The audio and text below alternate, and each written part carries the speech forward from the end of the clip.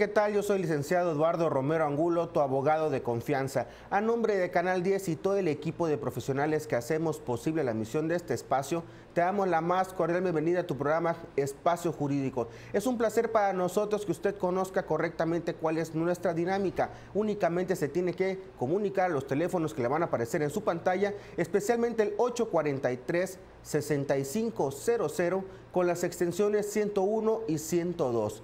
Recuerde que su llamada puede ser anónima. Únicamente platíquenos en qué consiste esa duda jurídica que usted tiene y con mucho gusto nosotros le vamos a dar una asesoría para que usted se encuentre muy bien informado para la toma de sus decisiones. Estamos en el mes de septiembre y por supuesto mes patrio también conocido como el mes del testamento. Y pues por supuesto tenemos de invitados el día de hoy a la Notaría Pública número 75, quien se encuentra con nosotros, por supuesto, el abogado notarial, el licenciado Román Amador Llamas. Bienvenido, licenciado, a su programa Espacio Jurídico. Muchas gracias, mucho gusto. Es un placer que nos acompañes para promover el programa del mes del testamento y por supuesto para asesorar a nuestros televidentes sobre la importancia de realizar un testamento. Platícanos, licenciado, ¿qué tipo de testamento es el que se aplica en el programa del mes del testamento? Bueno, en este caso el programa del mes del testamento, eh, que como todos conocen, el mes de septiembre, eh, en un esfuerzo del gobierno del Estado y del gobierno federal, eh, promueven la práctica de este importante documento. Se hace la extensiva la invitación a todos los, a todo el público, a todos los ah, pobladores del estado de Quintana Roo, en particular en esta zona de Cancún, pues para que eh, acudan con su notario de cabecera, con su notario de confianza y eh, se puedan aplicar eh, el programa en, este mes en particular. los costos están, considero, bastante accesibles. es un programa a nivel nacional, pero bueno, en este caso en nuestro estado, el costo autorizado para este mes, para este año, es de 1.300 pesos masiva. Entonces, normalmente el testamento pues eh, anda costando alrededor de 4.500, 5.000 pesos. Este, eh, entonces, como verán, la verdad es un poquito bastante accesible. Eh, antes que nada, quisiera darte las gracias por la invitación, por el espacio. Este, a nombre del titular, licenciado Gerardo Herrera, el titular de la Notaría 75, este, pues, le damos las gracias por este, por este espacio. Claro, le enviamos un saludo, por supuesto, al titular de la Notaría Pública número 75, por supuesto, agradeciéndole su apoyo para todos los televidentes. Eh, licenciado, ¿qué requisitos se requieren para que pueda acudir uno de nuestros televidentes a la Notaría Pública número 75 a realizar su testamento? Sí, Eduardo, mira, la, verdad es que los requisitos, aparte del, costo que ya mencionamos, que es bastante accesible, eh, los requisitos también son muy sencillos. En términos generales, lo único que necesitamos que nuestros amigos televidentes eh, cuando acudan con su notario es llevar básicamente su identificación oficial, eh, entendido por esto el IFE, bueno, el INE ahorita, su pasaporte, alguna cédula profesional e inclusive se aceptan también las cédulas de identidad postal, que es una identificación que se tramita muy rápido en el Servicio Postal Mexicano. Esas son las, las identificaciones oficiales, por así decirlo. Eh, necesitan llevar su acta de nacimiento, su acta de matrimonio en caso de que estén casados y eh, llenar un pequeño formulario que se proporciona eh, directamente en la oficina, en nuestro caso en, el correo que más adelante creo que va a estar pasando por ahí, pueden solicitar la información y con todo gusto por ese mismo medio se les envía. No necesitan llevarlo a la oficina directamente, pueden mandarlo por ese mismo medio y por ese mismo medio estaremos en contacto con nuestros amigos televidentes. Y prácticamente esos son los requisitos, básicamente eh, son tres, identificación, acta de nacimiento, eh, bueno, la identificación ya lleva el CURP, generalmente si no tiene su identificación CURP pues necesitaremos el CURP, eh, el acta de nacimiento y el de matrimonio solamente para los casos de los que están casados. Licenciado, fíjese que es importante el hecho de que la gente realice el testamento, no únicamente desde el punto de dejar en orden los bienes que tienen en vida para que posteriormente, después de la muerte, ya pueda estar bien organizado con su familia, cómo, van a, cómo se los van a quedar y cómo los van a administrar cada quien. Sino también desde el punto de vista de el mismo bien. O sea, hay, hay, hay situaciones en las cuales la gente realiza las donaciones en vida que le dan obviamente al hijo, al sobrino, algo, algún bien, y ya lo están, ya lo están usando.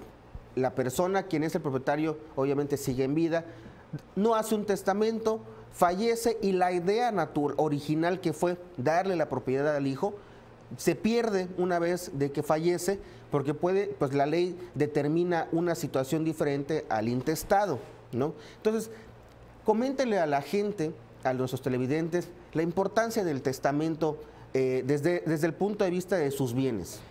Bueno, en, este caso, Eduardo, en efecto, la importancia del testamento por excelencia estriba en, hacer una disposición anticipada eh, en vida de, la distribución que uno quisiera o desea hacer de, acerca de sus bienes. Eh, es muy importante aclararte que muchos amigos televidentes eh, nos hemos topado en, la calle, en, la atención que damos día con día, sobre la duda que tienen de si pueden hacer su testamento aun cuando estén en trámite de pago de su, de su inmueble. Es muy importante precisarles aquí a los amigos televidentes que no necesitan tener sus bienes pagados. Eh, en ese caso, recordemos en temas de, financiamiento, de créditos, pues esos financiamientos, esos créditos normalmente, tanto Infonavit como cualquier banco, eh, inclusive las tarjetas de crédito, etcétera, etcétera, seguros, eh, tienen seguros, perdón, de que en caso de que llegue a fallecer la persona, el titular, pues bueno, estos seguros cubren los, los adeudos. Y bueno, estaríamos hablando que los, que los créditos, los inmuebles en este caso quedarían pues ya nada más para hacer el trámite de la adjudicación. En efecto es importante hacer esa disposición porque aseguramos, como dice la campaña, asegura tus, asegura tus, tus bienes, no heredes problemas, eh, puesto que, bueno, es de, por todo sabido, eh, lo, común que resulta ser el hecho de la destrucción, de, por así decirlo, de las familias por eh, los desacuerdos que llegan a haber en esos temas. Un punto también importante a recalcar es que eh, eh, no solamente la persona puede disponer sobre sus bienes, yo creo que una de las cuestiones más importantes para la mayoría de las personas es la familia propiamente dicho, en este caso los hijos. Dentro de un testamento también las personas pueden hacer eh, y deben de hacer, de hecho, tomar todas las precauciones para efecto de garantizar los alimentos de esos menores en caso de que uno tenga hijos menores de edad, el que el autor de la herencia lo tenga. Y número dos, que yo considero lo más importante, Eduardo, es que pueden disponer, en caso de que lleguen a fallecer pues, ambos padres, eh, porque bueno, lógicamente al morir uno de los padres, pues el otro se queda a cargo de los hijos, sin lugar a dudas.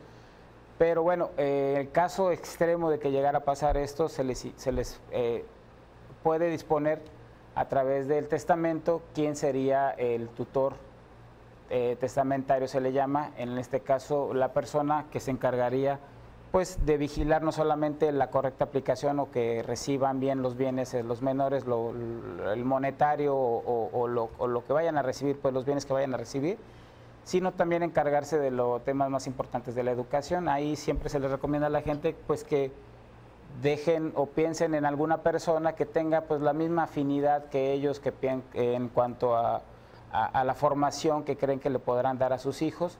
Y bueno, eh, pues ahora sí que mataríamos dos pájaros de una pedra. Con el testamento disponemos de nuestros bienes y garantizamos los alimentos y, y la persona que en un momento determinado se podría encargar de nuestros menores hijos. Señora televidente, señor televidente, espero haya tomado nota, haya puesto mucha atención sobre lo que el licenciado Amador nos está platicando, ya que algo más importante que los bienes, como bien lo mencionó el licenciado, es la familia. Vámonos un corte comercial y regresamos con más aquí en su programa Espacio Jurídico.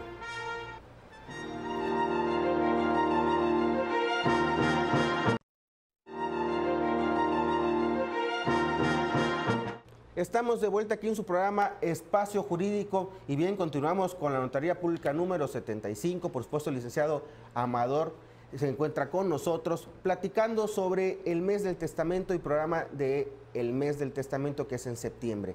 Licenciado, platíquenos un poco para las personas que ya cuentan con el testamento, pero que todavía no conocen en general cuáles son sus características del testamento y que pues tengan alguna otra idea para realizar, pero pues piensan que ya no pueden modificar o ya no pueden en este caso realizar nada más porque ya realizaron su testamento. Para ellos, ¿qué se les puede asesorar? Bueno, Eduardo, mira, en este sentido es importante recalcarles a la gente que el hecho de tener tu testamento, eh, en efecto, pues ya te alivia, por así decirlo, te garantiza, eh, pues ya tener un respaldo con respecto a lo que puede pasar en un futuro con tus bienes. Sin embargo, es muy importante aclararles este, que el testamento se puede modificar las veces que uno quiera. Es decir, si uno decide de pronto cambiar totalmente, radicalmente el testamento, de, dejar a una persona, dejar a otras o a una, o, cambiar al albacea, o cambiar al tutor, o etcétera, etcétera, lo puede hacer sin ningún problema, este, las veces que sea necesario. Tenemos muchos clientes que que pues año con año han tenido la necesidad de, hacer sus cambios y es totalmente y absolutamente respetable, ¿no? El hecho de, que se haga un testamento no, instituye o no representa de ninguna manera que éste sea irrevocable o, inmodificable, La voluntad de la persona pasa por muchos estados, entonces eh, la voluntad puede cambiar en cualquier momento Nada más que si tengan en consideración nuestros amigos televidentes que eh, si uno tiene que hacer el cambio, es decir, si ya surgió en ti el ánimo, el deseo de hacerlo, eh, no dudes y aproveches en este, en este caso los precios de este, de este mes de testamento y hagas ese cambio, porque siempre nos quedamos con el que ahorita lo hago, mañana, pasado, se vence el mes, termina, y bueno, pues lo único que se dice, como diría mi mamá, lo único que se necesita para morir es estar vivo. Entonces, eh, pues no lo dejemos para, más tiempo. Eh, también es importante comentarles a los amigos televidentes que en este caso, eh, bueno, llega el cliente y me dice, yo ya tengo mi testamento, ¿qué va a pasar después? Bueno, pues ese documento, mientras no lo quieras cambiar, como estamos platicándolo ahorita, pues ahí va a estar disponible, es, la, es el documento que va a surtir sus efectos hasta después de la muerte del autor de la herencia y eh, le corresponderá entonces a los, herederos hacer el trámite de sucesión testamentada en este caso. Eh, a mí me preguntan mucho, bueno, ¿qué pasa si no hago testamento? ¿Cuál es la diferencia? Bueno, básicamente eh, la diferencia es que cuando uno hace su testamento le deja plenamente garantizado a las personas que uno quiere proteger o que uno quiere beneficiar el derecho de recibir esos bienes. Eh, en cambio, el intestamentado no, el intestamentado, cuando uno muere sin testamento, eh, pues eh, se aplica de manera supletoria, por así decirlo, no la voluntad del testador, sino lo que aplica la ley, nuestro Código Civil, en el cual se establece una prelación, como en todo, en donde, bueno, pues entra la esposa, los hijos, este, padres, hermanos y cualquier pariente dentro del cuarto grado que le llamamos. El cuarto grado entra más o menos, creo, si no mal recuerdo, hasta los primos eh, primos hermanos, entonces cualquier persona que se sienta con un derecho, e inclusive marca la ley en el último párrafo, inclusive hasta los beneficiarios económicos, es decir, personas cuya relación de dependencia económica se puede acreditar con, el autor de la herencia.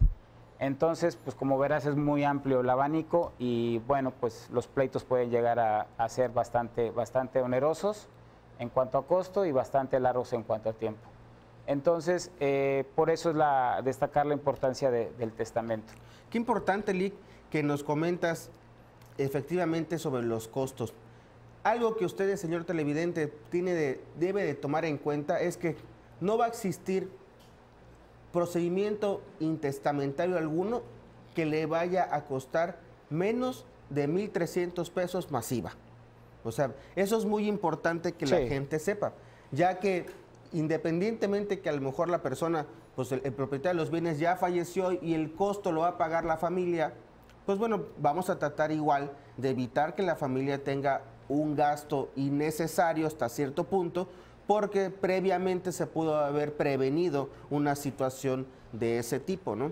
Entonces sí es importante que lo, que lo tengan en mente. Sí, sí es importante que, consideren este hecho. Eh, de entrada por una cuestión, repito, de de economía, pero yo creo que más, más que ello es la tranquilidad de saber que cuando te vayas, pues no va a haber de alguna manera un encono o un pleito entre, entre la que, definitivamente destruye familias. ¿no? Fíjese, licenciado, que me gusta recordarle a la gente eh, que no ha realizado su testamento y que pues previamente dicen, sí tengo el tiempo, pero eh, la verdad no quiero ir a gastar 500, mil pesos para que me asesoren de cómo realizar el testamento. Entonces aquí me gustaría preguntarle directamente a ustedes como notaría si alguna de, nuestros televidentes tiene una duda, tiene algún costo sacar una cita para poder acudir a una asesoría. No, no, no, de ninguna manera. en este caso, toda la atención, ya sea telefónica o presencial en nuestras oficinas, eh, es sin ningún costo la asesoría. Eh, inclusive a muchas personas les recomendamos que acudan precisamente porque al momento de llenar el formato surgen algunas dudas en cuanto a los términos, porque bueno, no son términos este, que cualquier persona maneje, me refiero por ejemplo a la institución del albacea, a la institución del tutor, de los herederos inclusive, de los legados. Eh, mucha gente, pues evidentemente no, conoce esos temas, entonces yo les sugiero se acerquen con, con nosotros y, bueno, pueden hacer su cita o, acudir directamente a nuestras oficinas y, y, por vía correo electrónico, que como te comentaba hace un momento, creo que va a aparecer por ahí nuestros datos, o telefónicamente pueden eh, eh, contactarnos y y bueno, ahí se les dará toda la información que sea necesaria y, se les atenderá. Les digo, estamos inclusive estamos trabajando hasta los sábados para durante este mes para atender pues, al mayor a la mayor eh, personas que desean hacer este importante documento. Fíjense que es importante la asesoría, señores, aprovechen, acudan con sus notarías de confianza. En este caso estamos apoyando igual a la Notaría Pública número 75, ya que ellos igual apoyan el programa, tanto el programa Espacio Jurídico como el programa El Mes del Testamento. Y es importante que esta decisión del testamento, si bien es una voluntad propia del testador, siempre es bueno encontrarse asesorado previamente a tomar una decisión, ya que si usted... Eh, puede tener una, una idea errónea de que únicamente existen ¿no? herederos universales. O sea, a lo mejor y usted, a lo mejor y, sus hijos no quieren ser copropietarios. Y si usted tiene una libertad de también platicar previamente, yo les recomiendo, vayan, tomen una asesoría en la notaría. Posteriormente, si usted siente que cuenta con esa confianza de su, con su familia, de poder decirles, ¿saben qué? Familia, fui, me asesoré en la notaría 75, me comentaron eh, todas las dudas que yo, yo le comenté las dudas que tengo, me comentaron cómo lo podemos o qué eh, situaciones jurídicas se pueden llegar a dar de forma futura. Y fíjense que yo tomé una decisión desde ese punto de vista, pero pues al fin y al cabo tenemos esa confianza y ustedes también ayúdenme a tomar esa decisión. Si bien es cierto la decisión final es del testador, también vale la pena que si es una familia que cuenta con mucha confianza y que están de acuerdo como, y son unidos y que no hay ninguna problemática de platicarse por parte del autor del futuro testamento, el cómo quiere disponer de los bienes, quiere invitarlos a participar en eso, también está libre, porque mucha gente no sabe el tema de que si se vuelven copropietarios, no saben el tema de los legados, no saben el tema del usufructo vitalicio, no saben diversos temas, entonces qué mejor que estar asesorados y, qué bueno que puedan acudir a una notaría específicamente para el tema del testamento. Licenciado, acompáñame un corte comercial y regresamos con más aquí en su programa Espacio Jurídico.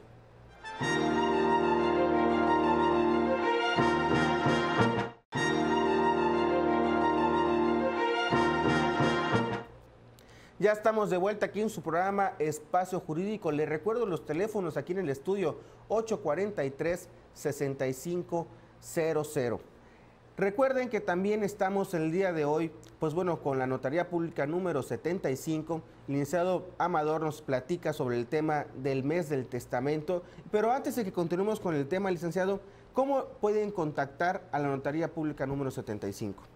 Claro, Eduardo, mira, como te comentaba hace un momento, eh, para todos nuestros amigos televidentes que pues sabemos se encuentran en sus actividades cotidianas este, pues, ocupados, y a efecto de brindarles la facilidad, yo les sugeriría que nos contactaran a través del correo electrónico, que bueno, ahorita es afortunadamente de uso muy común y ampliamente dominado, eh, a través del correo contacto arroba notaría75qroo.com en, ese, en ese correo nos puede contactar y ahí eh, nosotros por ese mismo medio nos pondremos en contacto. O bien, eh, si gustan llamar a los teléfonos de la oficina, eh, tenemos a su disposición el 251-8083 y el 234-9339, en donde con gusto podremos atenderlos. Y bueno, a propósito, Eduardo, me gustaría aprovechar el espacio para, en este sentido, seguir resolviendo algunas dudas que se puede presentar en nuestro, en nuestro, en nuestro público televidente eh, derivado de las consultas que normalmente hacemos. Eh, mucha gente eh, tiene en mente eh, qué contenido, qué disposiciones puedo otorgar en mi testamento. Bueno, en términos generales les podemos decir que el testamento, la voluntad del testador es, es la ley, es, es lo que se respeta y lo que se tiene que otorgar. Sin embargo, como todo, ahí existen límites, existen algunas cuestiones que no se podrían dispone del testamento. Me explico. Hay mucha gente que tiene en su mente la idea de, bueno, mis hijos son muy despilfarrados, no confío en ellos.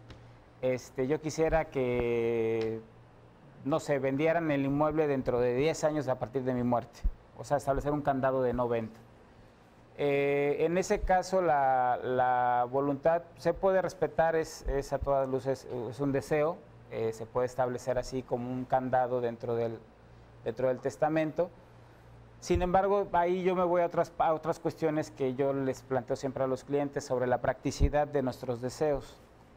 Eh, como dice el dicho, los bienes son para los males. Y si yo le pongo una restricción a los bienes de tal manera que las personas no puedan disponer de los mismos, pues en menudo problema los estaría metiendo. Yo siempre les pido que analicen muy bien lo de su testamento porque si definitivamente si no, hay, no existe una confianza hacia la persona que vamos a instituir como herederos, pues yo les sugiero siempre considerar, eh, les repito, siempre es muy respetable la voluntad y los deseos de cada quien, sin embargo, nuestra tarea es como profesionales a orientarles acerca de sus deseos y las consecuencias, pues platicarles la película un poco, ¿no? Entonces, eh, en este caso, pues se podría respetar eh, y lo hemos llegado a hacer inclusive en algunas eh, situaciones.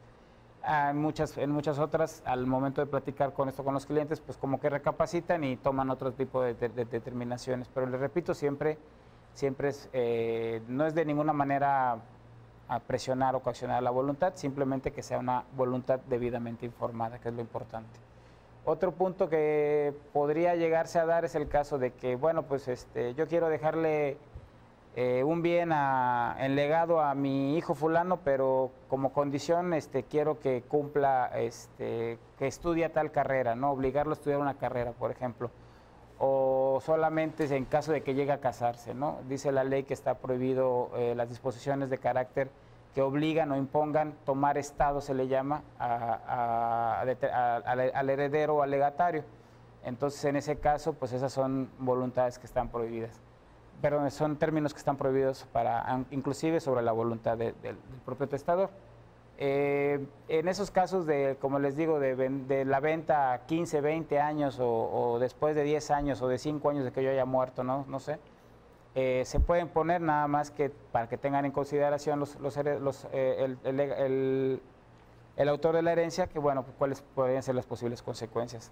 Otro tema es el, no sé, el, clásico tema de las películas de que se queden en la casa embrujada por cinco años, por, una noche y los que resulten son herederos. Eh, aunque suene absurdo, pues sí, también son disposiciones que, que, son de película, pero son este, también posible de, poner. Obviamente, en este caso, los clientes tendrán que analizar muy bien esos candados que quisieran dejar dentro de sus, sus, testamentos. Pues licenciado, fue un placer que nos haya acompañado el día de hoy representando a la Notaría Pública número 75. Por supuesto, igual, eh, pues como bien nos comentaron, igual el titular, para las primeras tres personas que se comuniquen van a tener un testamento gratuito que nosotros vamos a estar canalizando con la Notaría Pública para que usted aproveche ese apoyo que brinda la Notaría Pública 75 para todos nuestros televidentes. Licenciado, muchas gracias por acompañarnos el día de hoy. Señores, esto fue todo por el día de hoy. Les recuerdo, mi nombre es Eduardo Romero Angulo, soy su abogado de confianza y por supuesto los invito a que nos sigan sintonizando lunes, miércoles y viernes a partir de las 9 de la mañana aquí por Canal 10, la televisión que va contigo y por supuesto recuerden, Acudan a la notaría número 75 en este mes del testamento para realizar su testamento público abierto. Hasta luego y mucho éxito.